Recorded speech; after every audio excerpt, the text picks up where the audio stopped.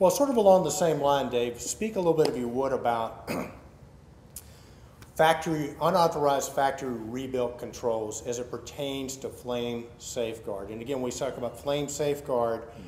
There are controls you can get out there. Some of these older relays, especially, are not that complicated. So you know, you get somebody that's a pretty good electronics guy, and he can replace a part or piece on there. Mm-hmm. Why is that not a good idea for an end user?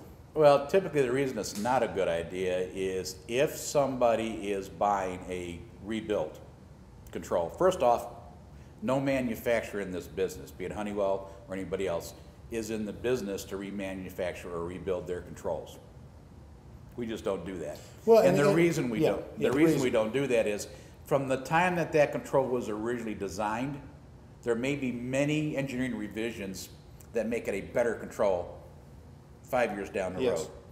And if you're just repairing a control, you don't have those enhancements or those revisions. And that could be a component board, it could be a, uh, it could be a resistor, it could be a relay on that board.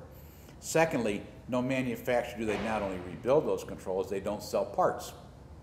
So the only source for parts to repair these controls are other used controls. Oh, so they're cannibalizing used So they're cannibalizing parts. They're like taking three old motors and getting one to work. Yes. Um, and so when they buy a rebuilt control, first, it's not of current design. Secondly, it's a used control.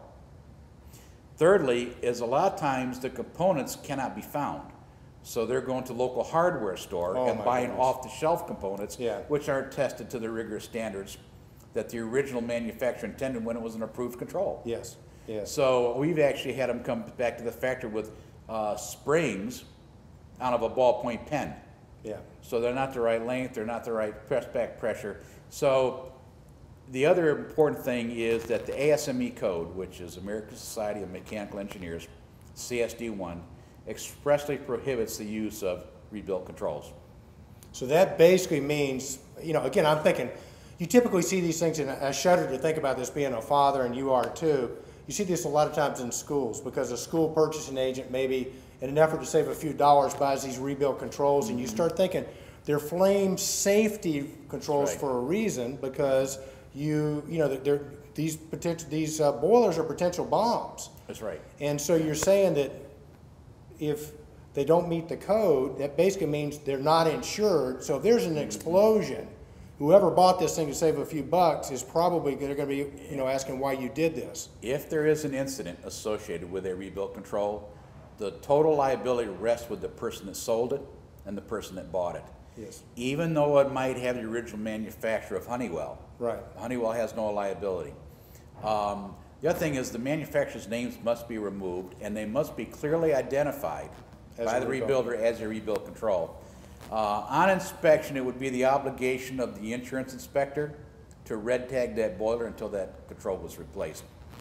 With that said, the CSDs, such as Stromquist, have a written agreement with Honeywell that they will not sell, Absolutely solicit to not. sell for, inventory, rebuilt controls. If they do that, or any of our distributors, if we find them doing that, then they have lost the contract with Honeywell. It's a violation of a written, written agreement.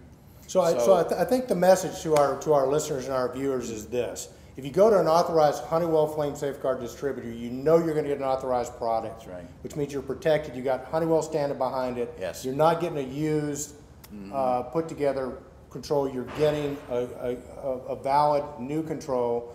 You're protecting yourself from violating insurance uh, laws and, And you're and code laws. the liability.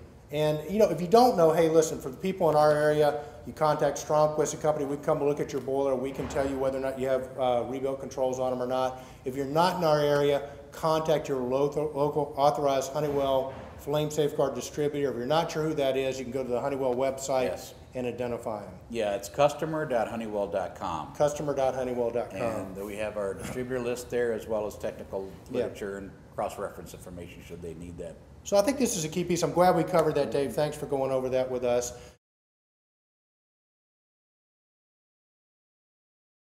So, you know, a lot of people in the controls industry, they, they voted that Jerry is the most handsome man in the controls industry. Is there any truth to that, in your opinion? I, I have no comment.